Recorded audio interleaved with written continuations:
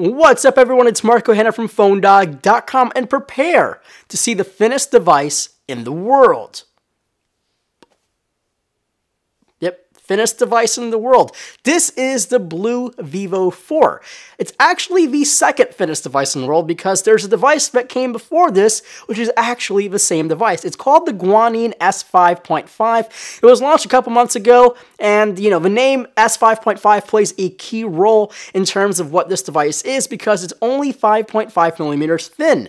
It's pretty darn small and it has a lot of great specs. And in terms of specs, I'm talking flagship specs. We have an octa-core processor, 1.7 gigahertz octa-core processor, 2 gigabytes of RAM, 16 gigabytes of internal memory. You can get a 32 gigabyte model, uh, and it's a device built with Corning uh, Gorilla Glass and metal. It's really a special device, and guess what? It only will cost you $300 off contract.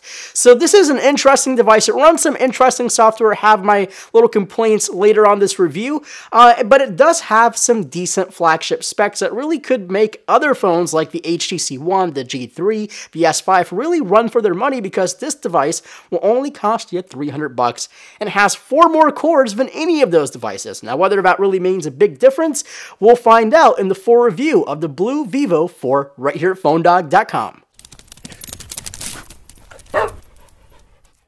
Let me start off by listing how much this phone costs, which is pretty unusual for me since I really don't list prices because most phones you see at PhoneDog.com are near flagships and they have flagship prices.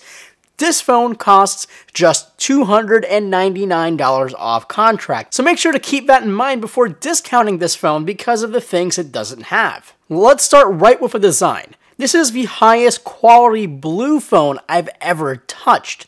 It uses a mix of Corning Gorilla Glass and metal to build the frame of the body of this phone. The glass on the back has a nice cold touch feeling, and the metal sides offer enough grip to use this device one-handed. Now this phone is thin. The thinnest phone I've ever used actually, at 5.5 millimeters. It's pretty crazy. And really, for the first time you're going to put this in your hands, you do have a moment of disbelief and I'm really not kidding. This is thinner than the Apple iPod Touch, not iPhone, the iPod Touch by a full 0.6 millimeters. The only exception is the slightly raised surface surrounding the camera, which looks kinda cool in this glossy black and matte black color finish. The only thing I don't like about this design is the buttons are pretty weird. They all live on the left side and the volume rocker lives above the power and lock switch. Not that big of a deal, but just really weird. Now the hardware that lives inside this phone screams flagship. A 1.7 gigahertz, wait for it, octa-core processor. So it's two 1.7 gigahertz quad-core chips fused together, 2 gigabytes of RAM, and a smaller 2300 milliamp hour battery. Add a 13 megapixel rear facing camera and a 5 megapixel front facing camera and you have a very complete flagship package. Any drawbacks? Well, it only supports HSPA plus network speeds, so up to 42 megabits per second on some of the faster 3G networks supported on AT&T and T-Mobile. Sorry for all of you CDMA users. Now, obviously, it can support 3G and slower speeds, but there is no LTE radio inside, and that will probably be the biggest drawback of this device. Apart from that, the only other drawback is the software, which there is a workaround, and the battery life. Next, let's dive into this display. BLU uses a Super AMOLED panel full of 1920 by 1080 pixels that rakes in 441 pixels per inch and some very deep color depth. It's not as vibrant as something like the Samsung Galaxy S5, just something about the pop factor from the Samsung Galaxy S5 is pretty much unmatched from any other Super AMOLED panel. Software-wise, you'll find Android 4.2 Jelly Bean with BLU's custom and very heavily skinned user interface. I'm not a fan of this at all. I like the interface on the BLU Vivo 4.8 HD much better than this one and also the same software that was found on the BLU Life Pure. My workaround has been this, Nova Launcher, something I'm sure tons of you have knowledge of if you're an Android user. So instead of having all the apps on a home screen based launcher, this converts any of your Android phones to a more Google-like experience.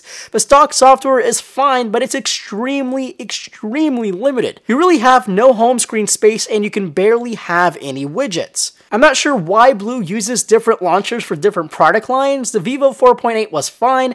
This and the BLU Life Pure have just really limiting software. Now, even though this phone isn't stock, this phone runs pretty darn smooth with Nova Launcher, which is free on the Play Store, by the way. I've made it pretty close to a vanilla experience, and this phone reacts pretty darn well. There are a few trouble spots when you're navigating through the menus. Not sure if it's a hardware thing because the same thing happens on the stock software. I'm also not a huge fan of the preloaded bloatware that you cannot, and I say it again, you cannot uninstall. It's not overdone like some of the Korean phones like the G3 I had, but it's more than I like, which is zero. I don't want any bloatware. Now let's move on to this performance. Performance is actually pretty good. Loading bigger and more content-rich websites like The Verge and PhoneDog will open pretty smoothly and the scrolling seems pretty fluid. Launching apps like Temple Run seems on par, multitasking seems just fine, and the GPU performance of this guy is pretty quick. The only part where this device is not on par is the battery life. The battery is only rated at 2300 milliamps, around the same size as the original HTC One, yet it's powering a larger 5-inch display.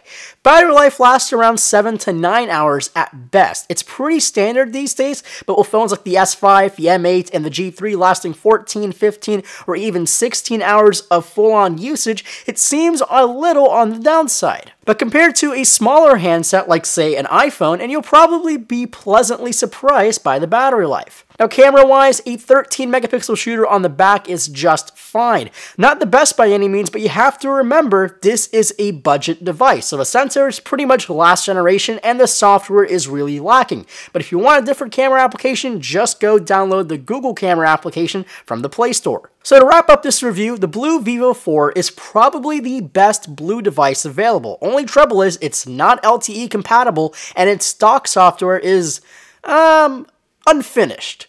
You can solve this software issue with launchers, but you cannot solve the problem with LTE. So if you can live with HSPA Plus and the $300 off contract price, this may be one of the sweetest devices available for the money. And hey, you can go shout to the world how you have the thinnest smartphone in the world. So thanks for watching. Make sure to leave any comments below. You can send questions directly to me on Twitter at phonedog underscore Marco. Again, my name is Marco Hanna from phonedog.com, and I'll catch you guys in the next one.